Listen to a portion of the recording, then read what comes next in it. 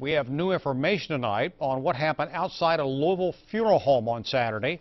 People had gathered to pay their respects to a young man shot to death in Shively last weekend. WLKY's Annalisa Gale joins us live now with more on this story. Steve, we're now learning that a bullet grazed Deshawndre Davis's cousin's hand during yesterday's shooting. The Davis family is disappointed that they did not get to say a proper goodbye due to the violence.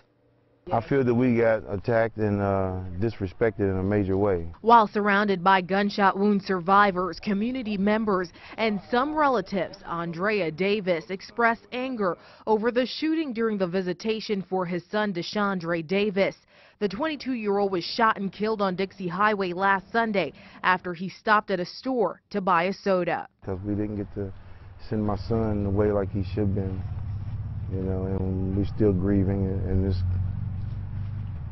it's just something we have to deal with that,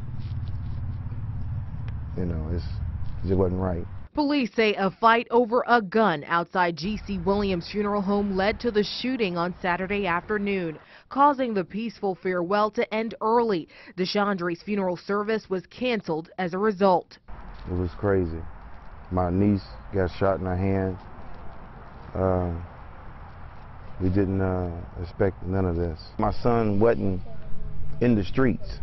He was a comedian and he had fun. He made people smile. While a makeshift memorial continues to grow, community activists are hoping that a grassroots approach will help to stop the gun violence which causes pain for families like Davis's. You got to step in before the acts occur. That's the only way that we're going to see change around in these neighborhoods. This year, Jefferson County has had the most homicides since 2008. And Steve Deshawndre's father is keeping in touch with Shively police. He's hoping they will soon make an arrest in the case. No arrests have been made in Saturday's shooting, shooting in front of the funeral home. I'm Annalisa Gale, WLKY News.